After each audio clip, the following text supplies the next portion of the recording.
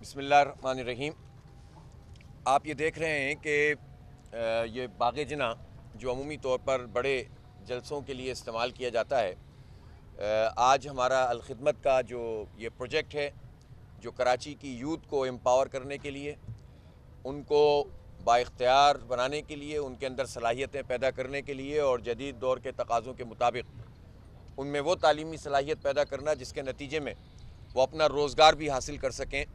बनो काबिल प्रोजेक्ट, ये प्रोजेक्ट है। उसके लिए हमने ये पूरा अरेंजमेंट किया है और ये समझ लें कि इस पूरे प्रोजेक्ट का एक अहम संग मील होगा। आज ये एप्टीट्यूड टेस्ट लिया जाएगा और उसके बाद इसमें पास होने वाले हज़ारों बच्चों को, नौजवानों को हम न सिर्फ़ ये कि चार महीने, तीन महीने, पाँच महीने छः महीने के कोर्सेज़ करवाएँगे। हमारे सात आठ कोर्सेज़ हैं जो हमने डिज़ाइन किए हैं। उन कोर्सेज़ के नतीजे में जो सलाहियतें उनके अंदर पैदा होंगी कंप्यूटर टेक्नोलॉजी और इंफॉर्मेशन टेक्नोलॉजी के हवाले से उसमें मुख्तलिफ़ कैटेगरीज़ के लोग होंगे और इन कैटेगरीज़ के लोगों को मुख्तलिफ़ कोर्सेज से गुजारने के बाद मुख्तलिफ़ कंपनियों में रोज़गार के लिए भी हम काम कर रहे हैं। सिर्फ़ ये नहीं है कि ये लोग हमारे टेस्ट से गुजरेंगे और कोर्स से गुजरेंगे तो फिर हम इनको छोड़ देंगे, बल्कि हमारा ये पूरा पैकेज है जिसमें हम इस बात का भी अहतमाम कर रहे हैं कि जो जॉब अपॉर्चुनिटीज़ मौजूद हैं, उन अपॉर्चुनिटीज़ को पहले से हम जो है लॉक करवा दें, बुक कर लें और बहुत सारी कंपनीज़ इस सिलसिले में हमारे पास आई भी हैं और हमें खुशी है कि इसमें बहुत बड़ा रिस्पॉन्स अहल खैर लोगों का भी हमें मिला है और मुख्तलिफ़ इंस्टीट्यूशंस का भी मिला है कि जो हमारे इस वक्त पार्टनर बनते चले जा रहे हैं। तो ये बहुत बड़ा हमारा ख्वाब था कि हम अपने नौजवानों को आगे बढ़ा सकें, उन्हें पढ़ा सकें और इस शहर का इमेज भी बेहतर बनाएँ और इस शहर में एजुकेशन को भी फ़रोग दें और यहाँ के नौजवानों को रोज़गार भी दें। तो जहाँ जमात इस्लामी इस बात की कोशिश करती है कि कराची के नौजवानों के ऊपर अगर रोज़गार के दरवाजे बंद हैं तो उनको खोलने के लिए अपनी पॉलिटिकल जो है स्ट्रगल करें, लोगों को उठाएँ, नौजवानों को इसके लिए आमादा करें। वहीं अमली तौर पर जो हमसे हो सकता है, शायद उससे ज़्यादा हम करने की कोशिश कर रहे हैं। और हम हज़ारों नहीं इन ये प्रोजेक्ट लाखों नौजवानों को रोज़गार फराहम करेगा। ये एक ऐसा सिलसिला है कि जब ये हम शुरू कर देंगे तो माशरे के और बहुत सारे लोग भी इस काम को लेकर चलेंगे। और इसके नतीजे में हमें बहुत अपॉर्चुनिटीज़ मिलेंगी। इस वक्त सूरत हाल ये है कि कराची शहर की जो आबादी है, तीन करोड़ से कहीं जायद, अगरचे कि इस आबादी पर एक मरतबा फिर शब खून मारा गया है और हमें डेढ़ करोड़ कानूनी तौर पर पिछली पार्टियों ने कर दिया, जो विफाक में भी थी, सूबे में भी थी, और उन्होंने एक और शब खून अभी दो दिन पहले मारा है कि उन्होंने इकनॉमिक काउंसिल में भी ये तय कर दिया कि अब नई मरदमशुमारी मौखर कर दी गई है। तो वैसे ही हमारे साथ बड़े मसाइल हैं लेकिन हमारी जो असल आबादी है वो तीन करोड़ से जायद है। इसमें दो करोड़ लोग ऐसे हैं जो तीस बत्तीस साल की एज ग्रुप के हैं। दो करोड़ यानी बीस मिलियन लोग, दुनिया में बीस मिलियन लोगों के कितने ममालिक हैं आप सोच सकते हैं। पता चलेगा कि ये ममालिक की तादाद ही आपको सौ से ऊपर मिलेगी, जिनकी आबादी दो करोड़ से जायद है। लेकिन सिर्फ़ शहर कराची में दो करोड़ से जायद यूथ हैं। इन यूथ में बहुत बड़ी तादाद उन लोगों की है जो पढ़ नहीं पाते। उनमें से एक तादाद वो है, लाखों मिलियंस में है, जिन्होंने मैट्रिक के बाद तालीम को छोड़ दिया, या छोड़ना पड़ता है उन्हें, या इंटरमीडिएट के बाद वो तालीम छोड़ देते हैं ग्रेजुएशन के बाद वो छोड़ देते हैं, और या उनको फिर नौकरियाँ नहीं मिलती हैं। अब ये जो नौजवान इतना बड़ा स्टफ़ है, जिसको एजुकेशन नहीं मिल रही है, फिर ये क्या करेंगे?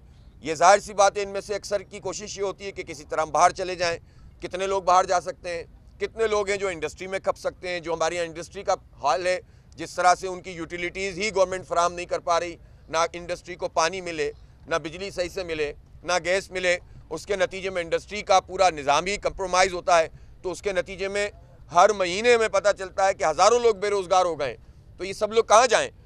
इनको हम बाहर तो नहीं फेंक सकते। तो हमें इन नौजवानों को अपने साथ लेना है। जमात इस्लामी ने इस बात का तहिया किया कि हम अलखदमत के इस पूरे प्रोजेक्ट को अपने शहर के नौजवानों की काबिलियत बढ़ाने के लिए इस्तेमाल करेंगे। क्योंकि हर गुजरते दिन के साथ हमें ये मसला भी पेश आता है कि हमारे यहाँ मायूसी बहुत है, आगे मौाक़े नहीं होते रोज़गार के तो बच्चे मायूस हो जाते हैं कटाने लगते हैं और फिर बिलाखिर ये होता है कि बाज़ लोगों को माफियाज अपना हिस्सा बना लेती हैं। स्ट्रीट क्राइम क्रिमिनल बनाना शुरू कर देते हैं, नशे का आदि बनाना शुरू कर देते हैं।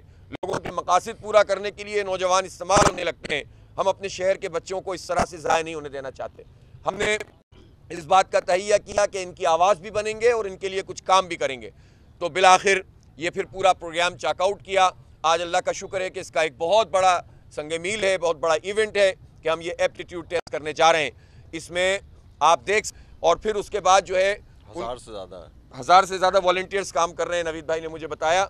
और फिर उसके साथ जब ये लोग शाम को ये आएँगे तो इनको आ, इनकी अरेंजमेंट करना। ज़ाहिर जलसे में तो लोग आकर बैठ जाते हैं इसमें तो आपको उनको अरेंज करना पड़ेगा, उनको पेपर देना पड़ेगा, उनका पेपर जो है वो उसका टाइम होगा, उससे कलेक्शन होगी। तो ये अल्लाह ने चाहा तो इन बहुत डिसिप्लिन वे में इस पूरे काम को हम अंजाम देंगे। इसमें मैं नौजवानों से भी कहता हूँ कि वो ताउन करें, जब यहाँ पर आएँ तो अच्छे डिसिप्लिन तरीके से यहाँ पर बैठे भी, अपना पूरी यकसुई से टेस्ट भी दें, और अल्लाह करेगा, जो लोग भी पास होंगे, हम इसमें कोई कंजूसी नहीं करेंगे कि हमें थोड़े ही लोग पास करने हैं। जो पास होगा इन वो हमारे पूरे उसमें आ जाएगा सिस्टम में और हम उसके लिए फिर जितनी एफर्ट्स हो सकती हैं वो करेंगे। तो ये एक गेम चेंजर है कराची के लिए। ये इन ताला कराची के पूरे इमेज को बदल देगा। ये पहला कदम हमने जब उठा लिया है तो इन अब हम आगे बढ़ेंगे। ये शहर पढ़ेगा और ये शहर आगे बढ़ेगा, इसका नौजवान भी पढ़ेगा, आगे बढ़ेगा इन बहुत शुक्रिया।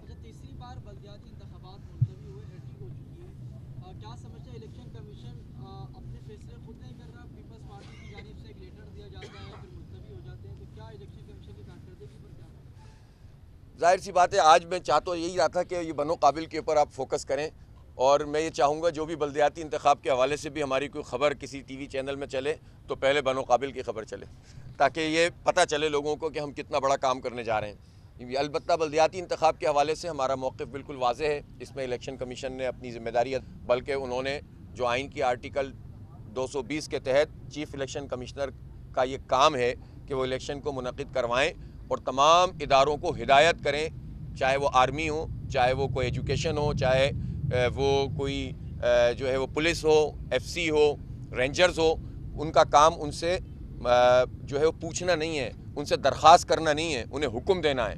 और सारे इदारे पाबंद हैं, बहुत बड़ा इख्तियार चीफ इलेक्शन कमिश्नर का है। अगर आप ये इख्तियार इस्तेमाल नहीं कर सकते, आप हिदायत नहीं दे सकते तो आपको इस सीट पर रहने का कोई हक़ नहीं है।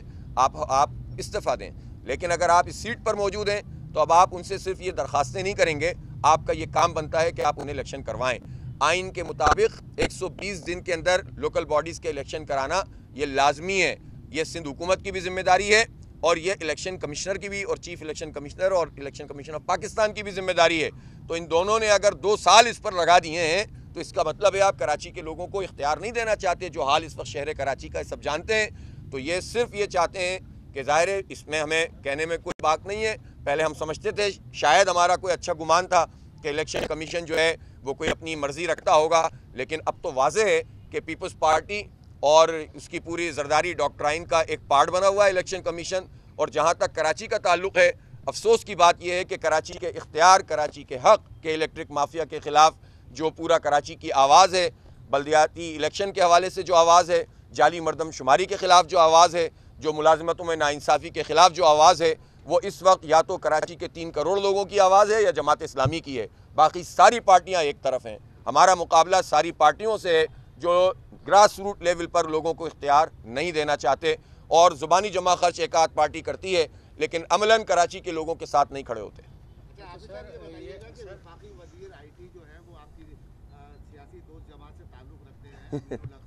जी जी। तकरीब कर रहे हैं तो आपने उनको दावत वगैरह दी है या उनको कोई ये एजाज़ दिया है कि वो आके आईटी के नौजवान जो यहाँ पे निकलना चाह रहे हैं उनके लिए कोई हम हम काम करना चाहते हैं काम ख़राब नहीं करना चाहते। इस तरह की पार्टियों को इन्वॉल्व करके वो आईटी मिनिस्टर हैं तो उनको तो आप उनसे पूछिएगा कि उन्होंने आईटी के लिए पूरे पाकिस्तान में वो तकरीबन साढ़े तीन साल पीटीआई के साथ मिनिस्टर रहे हैं एमक्यूएम के लोग। और फिर उसके बाद अभी हुकूमत के अंदर भी हैं। वैसे तो माशाल्लाह इनकी मिनिस्ट्रियों की तारीख बहुत तवील है। 1988 से ये लोग मिनिस्टर ही होते चले आ रहे हैं। तो कुछ नहीं किया कराची के लिए, इसलिए ये तो मौजू ही नहीं है। खाम खा में अच्छी खासी चीज़ को मैं किसी फ़र्द के ख़िलाफ़ बात नहीं करता। अमीन साहब से हमारी मतलब बातचीत भी है गुफ्तु भी है।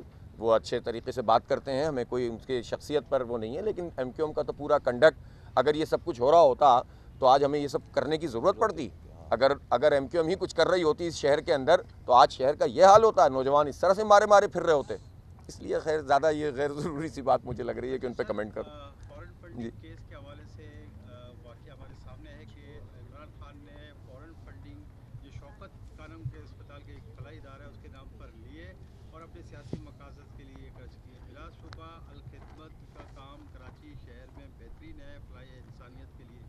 तो क्या आप श्योरिटी देखते हैं, अपने उन अफराद को जो डोनेशन देते हैं कि आपके पैसे सियासी मकासद के लिए इस्तेमाल नहीं हो रहे। एक बात तो वाजे कर लें आप लोग।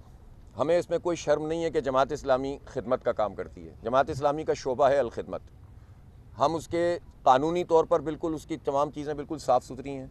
उसके अकाउंट्स बिल्कुल साफ़ सुथरे हैं। उसका ऑडिट बिल्कुल साफ़ सुथरा है। कोई भी आदमी जाकर उस ऑडिट को देख सकता है। जो इस मुल्क की अच्छी फर्म्स हैं, वो इसका ऑडिट करती हैं। और हमारा निज़ाम अलहमदिल्ला ट्रांसपेरेंट निज़ाम है। लेकिन मुझे इस पर कोई शर्म नहीं है कि मैं ये कहूँ कि जनाब, नहीं साहब, वो तो बिल्कुल एक कोई ऐसी अलग से कोई चीज़ है। हमारे डोनर्स हम पर अतमाद करते हैं। ये अतमाद अलखिदमत पर जो है वो जमात इस्लामी की वजह से है। जमात इस्लामी की क्रेडिबिलिटी की वजह से है। ये अतमाद अबुल आला मौदूदी रहमत प्रोफेसर अब्दुलगफ़ूर अहमद नमतुल्ला ख़ान मुनवर हसन की वजह से ये अतमाद जो है वो हमारा अब्दुलसत्तार अफ़गानी की वजह से है। और आज भी हम उन्हीं के नक्श कदम पर चलते हुए ये काम कर रहे हैं। इसलिए हम तो इस मामले में किसी परेशानी का शिकार नहीं है। अलखदमत हमारा इदारा है। अलखिदमत के प्लेटफॉर्म से हम ये सारे काम करते हैं। अगर कोई ये समझता है कि हम खिदमत के काम को सियासत के लिए इस्तेमाल करते हैं तो मैं तो ये कहता हूँ कि खिदमत ही हमारी सियासत है। लोग भी यही वाली सियासत करना शुरू करें तो मुल्क के हालात बदल जाएँगे। और जहाँ तक आपने जिन लोगों का हवाला दिया है तो ज़ाहिर अब राज कैपिटल से जो पैसे आए हैं, वो शौकत खानम का मसला नहीं है। वो तो सारी पार्टियों को बरह रास्त उन्होंने ब्राइब किया है और बाकायदा पार्टियों के जो अकाउंट्स हैं, उनमें आए हैं। और उस पर जो है सुप्रीम कोर्ट में केस चलना चाहिए। मैं किसी एक पार्टी की बात नहीं करता। क्योंकि जो ये वाला मसला है ना अबराज कैपिटल से अगर पैसे आएँगे या बहरिया टाउन से किसी एक पार्टी को तो ना नून लीग पीटीआई पे एतराज़ करेगी, ना पीटीआई नून लीग पे एतराज़ करेगी। यानी बहरिया टाउन और अबराज कैपिटल ऐसी चीज़ हैं, जिनमें कोई एक दूसरे पे एतराज़ नहीं करता। इसलिए कि सबके चूल्हे उन्हीं से जलते हैं।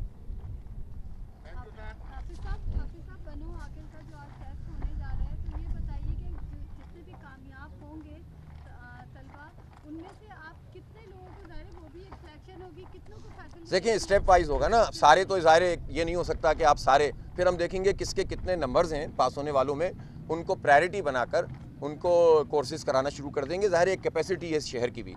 इसमें ज़ाहिर डेवलपमेंट ही नहीं हुई, सरकारी सतह पर तो इंस्टीट्यूट इस काबिल ही नहीं है कितने। फिर जो प्राइवेट सेक्टर में लोग काम कर रहे हैं, वो भी थोड़े हैं। तो हम इसी दौरान में अपने आप को अलखदमत भी इंक्यूबेटर्स बनाएगी, बहुत सारे इंस्टीट्यूशन कायम करेगी। हम भी ये काम साथ साथ करेंगे और जो इदारे इस वक्त एग्जिस्ट करते हैं, उनमें पढ़ाएँगे। तो ज़ाहिर उसकी भी एक कैपेसिटी है लेकिन इन हज़ारों में होंगे ये लोग कि जिनको हम पहले मरहले में ही दाखिल करा देंगे और फिर जितना हमारी तो ख्वाहिश है सारे हो जाएँ भाई। अल्लाह करे। ज़्यादा से ज़्यादा। ज़्यादा जितना हो जाएगा उतना कर लेंगे।